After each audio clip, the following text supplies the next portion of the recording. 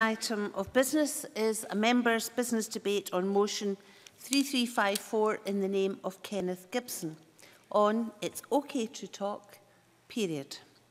This debate will be concluded without any questions being put and I would ask those who wish to speak to press the request to speak buttons now, please. And I call on Kenneth Gibson to open the debate. Around seven minutes, please, Mr Gibson. Thank you, Presiding Officer. It's a privilege to open this debate today, and I'm grateful to all those who signed my motion, allowing us to raise awareness of endometriosis. I'd also like to welcome the Glasgow Endometriosis Group to the gallery today, and in particular Anne Devlin, who has been in contact with me regularly in recent months regarding endometriosis and the need to improve specialist treatment and services. Indeed, it was Anne who inspired me to seek this debate which I hope will reassure sufferers that the importance of endometriosis is indeed recognised by this Parliament. The first and last time a parliamentary debate was dedicated to endometriosis was 16 years ago on 28th of June 2001 and it was secured by Annabel Goldie MSP. That wasn't even in this chamber as it was three years before this building was completed and of the five speakers in that debate only Elaine Smith and I have not yet retired will come as no surprise given our youth. On Saturday 25th of next month, uh, thousands of men and women will march in cities across the world to raise awareness of endometriosis, taking part in the fourth worldwide endometriosis march. One of these events takes place in Glasgow. And of course, next week, from 6th to 12th of March, is Endometriosis Awareness Week. And this year's theme is, It's okay to Talk, period. I disagree. I think it is necessary that we talk and absolutely vital that we act now. Endometriosis has to be a condition with the lowest profile in relation to the number of women affected by it. I can't help thinking this would be very different if men suffered from it too. Endometriosis is the second most common gynecological condition in Scotland and according to Endometriosis UK, around 10% of women of reproductive age are affected, which of course mean hundreds within my own constituency of Cunningham North. Furthermore, studies have estimated that between 30 and 50% of women dealing with infertility suffer from endometriosis. The word period in this year's slogan also serves as more than a punctuation mark. It was included to make young girls and women aware that not all period pain is normal. When endometrial tissue that should line the womb grows elsewhere in the body, it still reacts to the menstrual cycle each month and breaks down. With this tissue having nowhere to go, it leads to inflammation and the formation of scar tissue. This is not only painful and debilitating, apart from its physical effects, it has been known to lead to depression, anxiety and fear of intimacy. And of course, women living with endometriosis may find their careers impacted. During what must already be a confusing time for many teenage girls, not all be aware to what extent pain and discomfort are normal or could be a sign of endometriosis. This illustrates why so many women don't even know they have it. And according to Endometriosis, Endometriosis UK, the average time for diagnosis after first symptoms are experienced is seven and a half years. So urgent work is required to achieve both earlier diagnosis and better treatment options. Every woman's condition is different and there is no one treatment fits all approach. One of my constituents suffering was relieved only after a hysterectomy, but she knows of at least three others for whom this was not the solution. Every endometriosis sufferer requires a specialist and tailored treatment for their endometriosis. This can only be effectively provided by a team of specialists, preferably in accredited endometriosis units. There are currently only two accredited endometriosis units in Scotland compared to 47 in England. For a country with the geographical characteristics and population of Scotland, this is simply not enough. With the only specialised units being located in Aberdeen and Edinburgh, it's sad to say that the majority of endometriosis patients in Scotland are not readily being provided with the required specialist care. It is much more difficult for women living in the west of Scotland to get access to specialised care than the east or in England, and it is up to the Scottish Government to address this health inequality. Even if one of my constituents is referred by a gynecologist to the Edinburgh unit, they may have to forego treatment because of logistical or financial issues, which of course goes against everything this government stands for. I wrote to the Health Secretary last June about this and was pleased to be informed that an accredited endometriosis centre for the west of Scotland is indeed in the pipeline. This followed a pledge by then Cabinet Secretary for Health and Wellbeing Alex Neil MSP in April 2014 that the Scottish Government would support a review of how endometriosis services are delivered in Scotland. Proposals were put forward by Endometriosis UK and research staff at the University of Edinburgh that the management of complex endometriosis would best be achieved by multidisciplinary teams working within accredited specialist centres across Scotland.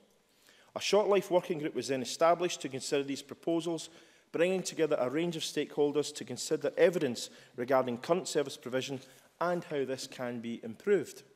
In 2015, the group's recommendations included the need to establish a third specialist centre in the west of Scotland accredited by the British Society for Gynaecological Endoscopy.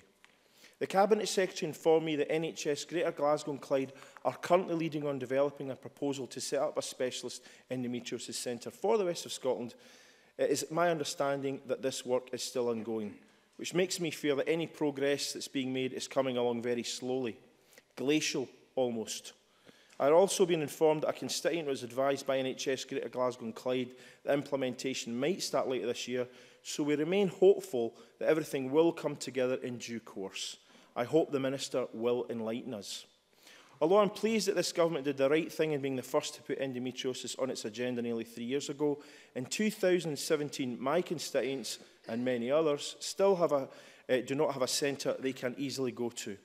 I'm unsure as to what progress has been made in serving the needs of women living with endometriosis since the previous debate 16 years ago, other than what I've already mentioned, but I believe I speak for sufferers across the West when I say it has not been enough. A month or a year may not seem a long time to those who aren't affected by it, but perhaps a couple of quotes from women living with endometriosis will put this in perspective. Great topic for members' business. I suffer from it and it literally destroys at least two out of four weeks. And this horrific condition has blighted my life.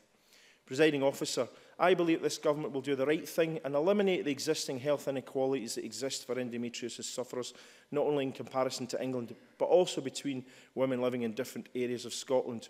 And I conclude by quoting that one of my constituents, herself a sufferer, wrote to me,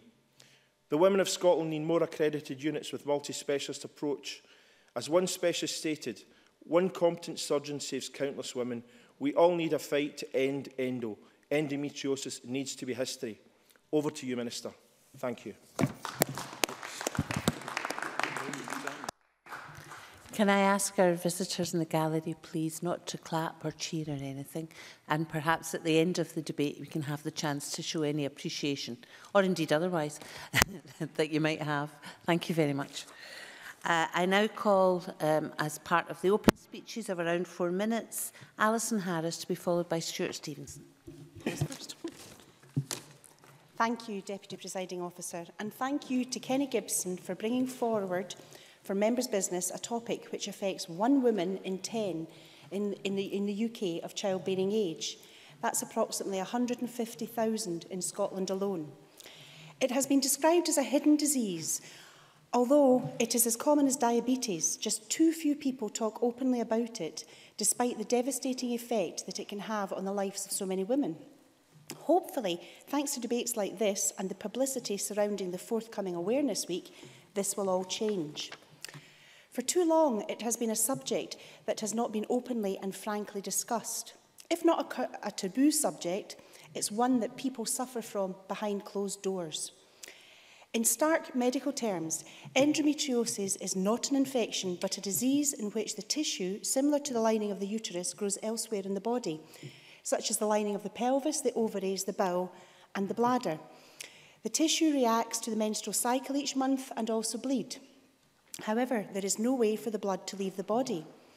The result can be devastating to sufferers, inflammation, severe pain, infertility, painful and heavy periods and fatigue.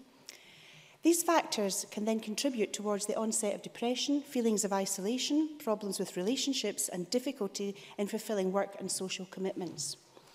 Deputy Presiding Officer, when preparing for today's debate, I found the story of a woman who has struggled with a condition since she was 13. Like so many women, the diagnosis was far from immediate. A variety of potential causes were suggested. The pain and the fatigue around the time of her periods meant that time had to be taken off school and then university and ultimately work. After having found a loving and understanding partner, she faced additional despair of finding that she was unable to actually conceive. Another sufferer, a woman from Edinburgh, whose own words bring home the effects that the condition can have and her determination to reclaim her life. Endometriosis has a huge impact on my daily life. The pain is constant and I have now been in daily pain for three years. This has led to not being able to make plans as I wouldn't know how I would feel from one day to the next. This has affected my relationships with my partner, family and friends. But I have been lucky that they have all been very supportive and understanding. My work has been affected and there is a real prospect that I may lose my job due to this illness. I have come to accept that I shall be in pain on a daily basis. I try to remain positive. This debilitating, invisible disease is no longer going to control my life. For many others, the constant pain and unpredictability of their lives can bring on isolation and depression. Not all women have partners, families or friends who understand how their loved ones can be so debilitated and so fatigued. So it is vital that these people are also not forgotten. They also suffer and more needs to be done to make sure that they also learn that this is a subject that can be discussed openly and that support is available to them. Endometriosis Group, under the auspices of Endometriosis UK, offer a real lifeline to sufferers and their families, offering help, support and advice on how to understand and manage the condition. Deputy Presiding Officer, it's always good to talk. And I'm proud that today this chamber has gone a step, for, a step further forward by proving that it's also okay to talk, period. Thank you. I call Stuart Stevenson to be followed by Monica Lennon. Uh, thank you, uh, Presiding Officer, and let me thank uh, Kenny Gibson for uh, giving us the opportunity uh, to discuss this topic uh, this evening. I believe endometriosis is a topic heavily uh, under-discussed, especially considering the range of people it affects, and perhaps uh, for me as a man, uh, particularly a man in his 70s, uh, my generation of men were not much engaged or had discussed anything to do with uh, female reproduction. Indeed, it was only after my mother's death that I discovered the year before I was born she had an ectopic pregnancy resulting in the loss of a fallopian tube and thus the risks she took in giving birth to me, my brother and my sister were very substantial just not the sort of thing that we discuss with men of my generation. So tonight's debate is an opportunity to uh, engage men, but also to reflect uh, the needs of women. And in fact, uh, just this morning, I spoke with a young woman diagnosed with the disease. Uh, she was eager to hear tonight's discussion and grateful for Parliament's steps in raising awareness and hopefully in uh, furthering research uh, to find a cure. The idea that there's no cure for a disease that affects one in 10 women uh, in the world is almost unbelievable in the modern age, especially when you think about the great medical advances that have been made in other areas. And yet, despite all these women living with the disease, the number of people who have even heard of the disease, including myself until the debate came up, it was almost unbelievable. Endo's uh, impact is wider and more destructive than it looks at first glance. On the one hand, the chronic pain and fatigue that comes with it, not just mental, uh, physical pain, but also the mental consequences that come with it. But fundamentally, I understand that the effect on each person suffering from it can be quite significantly different uh, from someone else. Some might experience a host of symptoms, while some are almost asymptomatic. Regardless, living with an incurable disease day in, day out is not something that any of us would wish to take lightly. And it doesn't just affect the individual suffering from the condition. Friends and family of a woman diagnosed will also feel the strain of this condition. Place strain on relationships, commitments to work and social lives when a woman is in too much pain to go out of the house or even uh, to rise from bed. And these are women who are often, frankly, and I say it with no uh, pleasure whatsoever, disproportionately keeping families going, keeping uh, children at school, and simultaneously undertaking a career. Now, there are a number of support groups for women with the disease, who they can meet others suffering, and that's a useful outlet, I'm sure.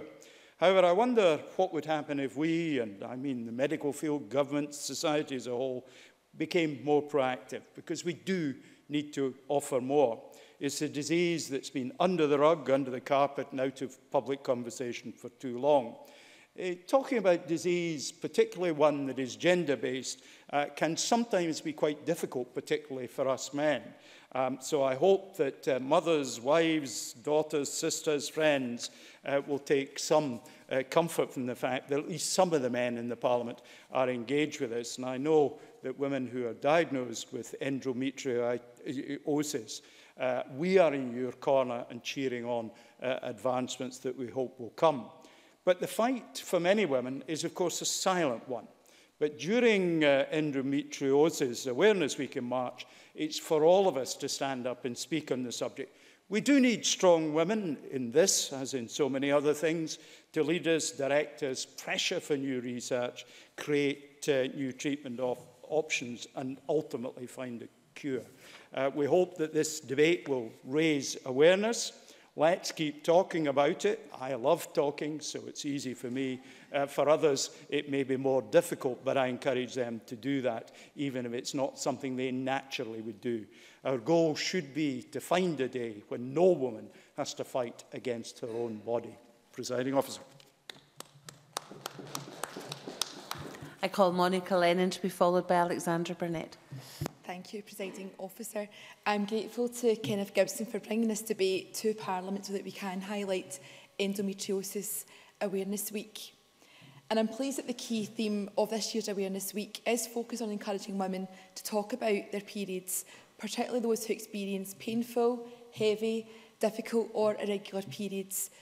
which can be a sign of the condition. Because it seems clear that the shameful lack of awareness and understanding about endometriosis is most likely attributed to an enduring taboo around menstruation itself and the reluctance we can have in talking about it openly encouraging women of all ages, backgrounds and ethnicities to talk more openly about our health, our bodies and experience of menstruation is an important step in empowering women to make informed choices about their own health care. Menstruation is a natural, normal bodily function experienced by the, va the vast majority of women of reproductive age every month of their lives. Yet the cult of silence which so often seems to exist around periods, means that those who suffer from endometriosis find it difficult to get diagnosed and face a poor public understanding of their condition and how it affects their everyday lives. Brushing off period pain as inconvenient women's troubles makes it all the more difficult for those with endometriosis to get the help they need to deal with this painful condition, which can seriously disrupt their lives. I was shocked to discover that this condition does affect over one and a half million women across the UK. And as Alison Harris rightly points out, this means the numbers of women affected by this condition are comparable to those affected by diabetes. And yet the awareness about endometriosis remains so woefully poor. Endometriosis is much more than just having a painful period. It is a serious gynecological health condition that can seriously impact a woman's life. And like Alison Harris, I too was struck by the experience of Lindsay, who is a, a, a co-leader for an Edinburgh-based support group who has written about her condition.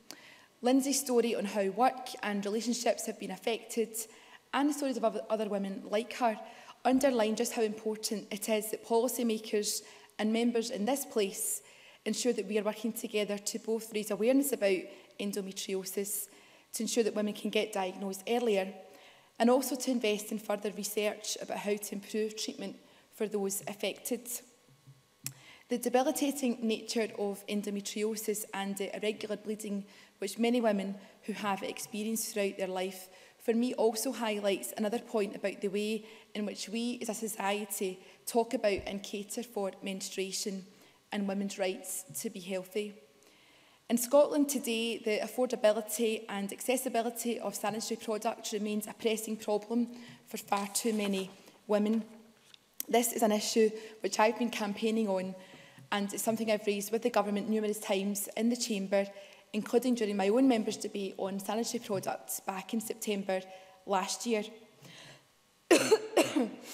and like Stuart Stevenson, I normally like to talk, but I'm having difficulty with that today. Not being able to access sanitary products can happen to women for a number of reasons, due to a restriction or lack of income,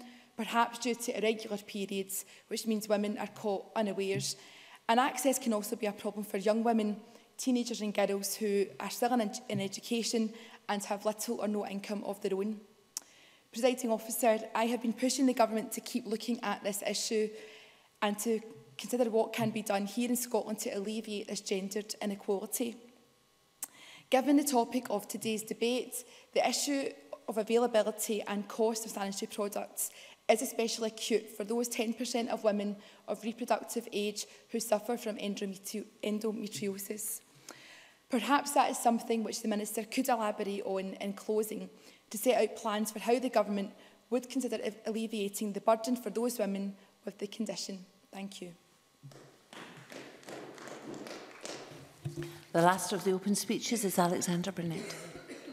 Uh, thank you, Deputy Providing Officer. Uh, I have to confess that when I signed this motion, it was more an acknowledgement of how this can affect someone uh, as, opposing, as opposed to possessing any knowledge of endo endometriosis itself. Uh, however, as a signatory of this motion, uh, I was given the opportunity to speak and inform myself of this condition and how it affects women. Uh, and I'd like to thank Kenneth Gibson for bringing this members' debate and subject to the Chamber and the opportunity to talk on it. And one of the starkest things that I found was the lack of information that is out there. In this debate, we've heard many times the same national statistics, but it's very difficult to get information that's local to our own constituencies. And after contacting Endometriosis UK, we struggled to find specific data on how many women are being treated or diagnosed with the condition within the Northeast. However, I was pleased to find that the first Scottish BSGE endometriosis centre was set up in Aberdeen, And yet these centres are not necessarily the centre of a woman's experience with endometriosis. And after speaking to a woman in the Northeast, she repeated the awareness problem, as well as the concerns on the huge length of time it takes to be diagnosed. So I'd like to take a minute to share her story. Her symptoms started at the age of 15. However, the prospect of having endometriosis wasn't even considered until her mid-20s, when she was finally diagnosed. And this is where women are facing the biggest problem. Not enough people are aware of it. She had to endure constant trips to the doctors, multiple tests, and reviews of treatments she had undertaken. And all the time, her symptoms were getting worse. Now, women suffering from endometriosis suffer an average of seven and a half years until reaching diagnosis.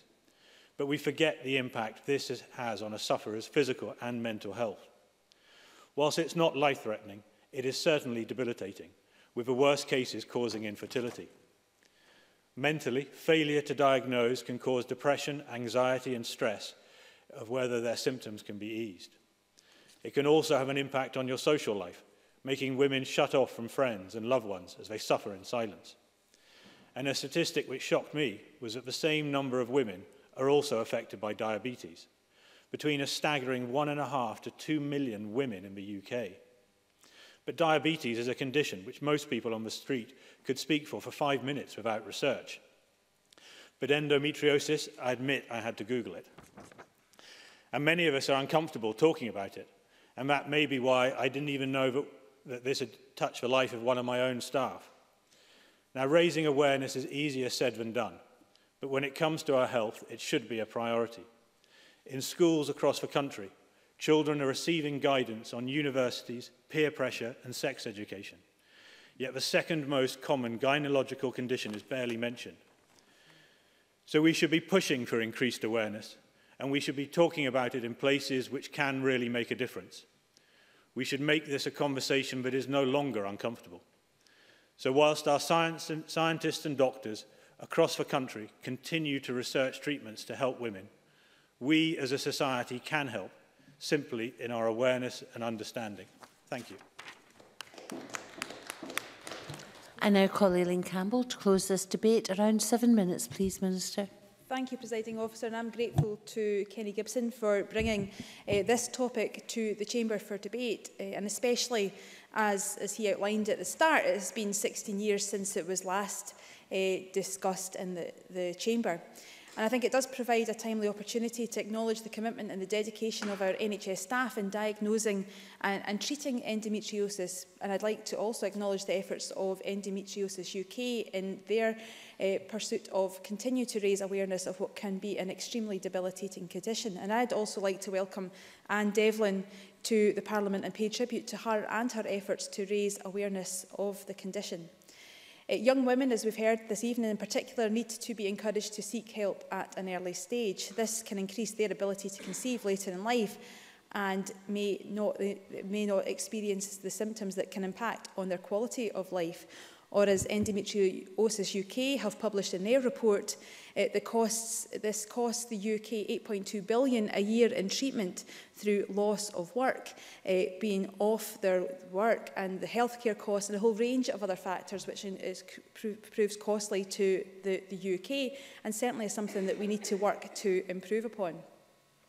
We in the Scottish Government have a positive relationship with Endometriosis UK, whose campaign It's OK to Talk period has been running for several years now and we're actively involved in the Chief Medical Officers Group that looked at improving early diagnosis and treatment.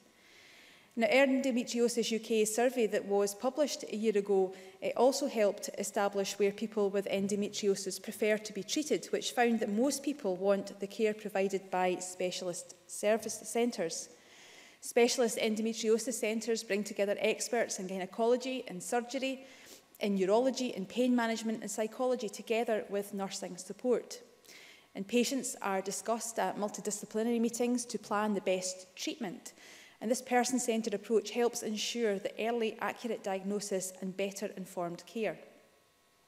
Specialist centres can be accredited by the British Society for Gynecological Endoscopy to help ensure consistent delivery of high-quality care.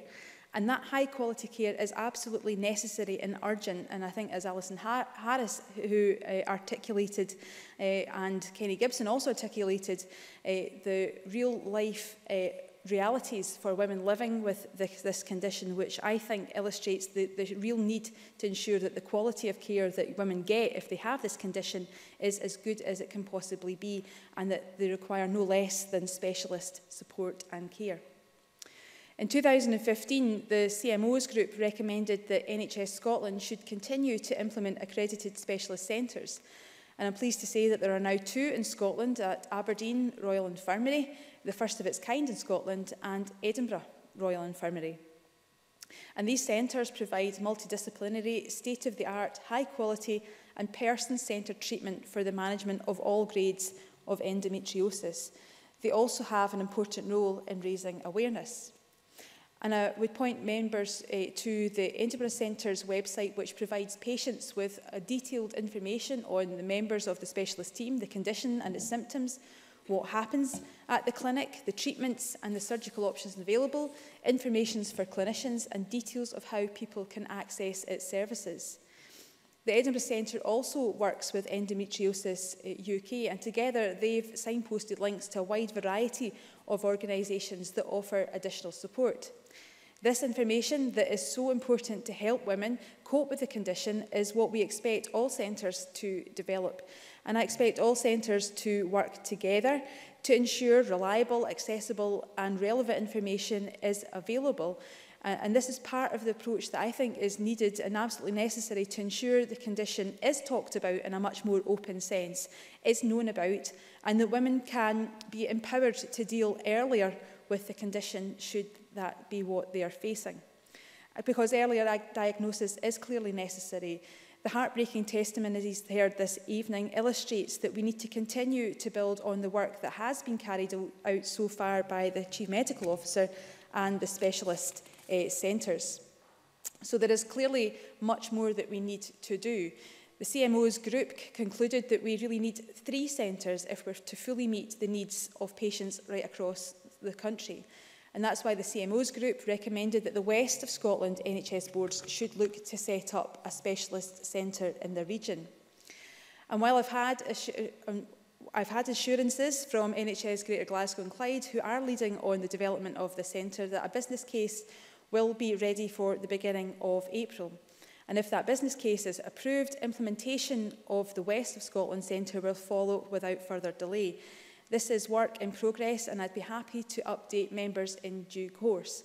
But on this uh, debate that has been raised by Kenny Gibson, I hope that it provides a bit more re reassurance to him and his constituents that there uh, will be uh, some light at the end of the tunnel and that his constituents will be able to, I hope, in uh, the near future, be able to access that specialist care uh, that is not currently there in the west of Scotland.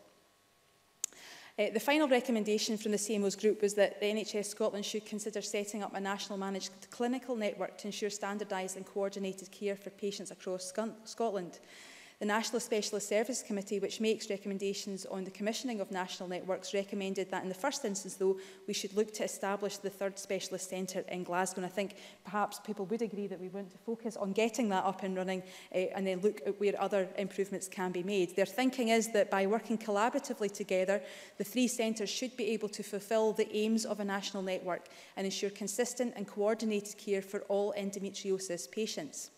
And I'll be maintaining a keen interest in how the proposals for a, a specialist centre in the West progresses. And I remain open to revisiting the need for a national network, depending on whether the three centres can work together to deliver these aims. But I also do wish to be clear that while the West proposal is being taken forward, uh, and while that is to be uh, celebrated, women can be referred to centres in Aberdeen or Edinburgh. And certainly if uh, constituents here have any um, any evidence or any constituent cases to the contrary of that, I'd be happy as well to uh, take uh, that on board. But the Scottish Government remains absolutely committed to ensuring that Scotland's NHS continues to be world-class, and I very much expect that having three accredited centres in Scotland will go some way to achieving this aim. They'll help raise awareness among the public and, importantly, among healthcare professionals. They'll ensure that women living with endometriosis have access to that speedy diagnostics and the best treatment available. So in short, they'll develop, deliver better care, better outcomes, and ultimately the better quality of life that we all wish to see.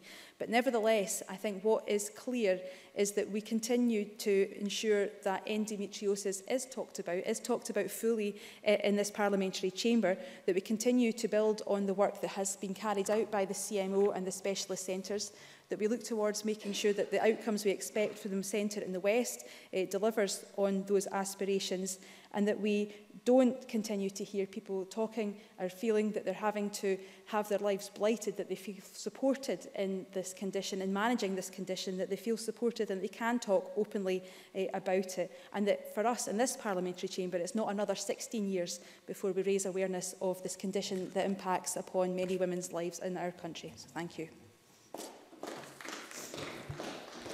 I close this debate and you may now show your appreciation if you wish.